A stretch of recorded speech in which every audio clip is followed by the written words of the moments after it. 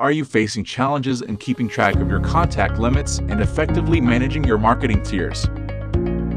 Say no more. Watch this video for a quick and easy guide on viewing your contact tier and marketing contact count.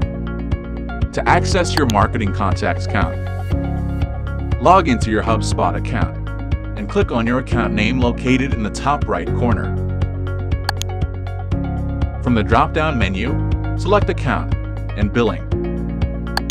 Navigate to the Usage and Limits tab.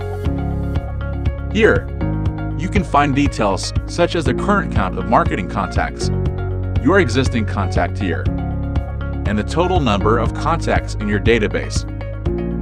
These figures are updated daily. Additionally, you can also keep track of your contacts usage over time through a chart displayed below your marketing contacts count. This feature helps you monitor your contact utilization patterns. And voila! Now you can easily stay informed about your marketing contacts and manage your account efficiently. If you found this tutorial helpful on your HubSpot journey, make sure to give it a thumbs up and hit that subscribe button to join our growing community of HubSpot enthusiasts.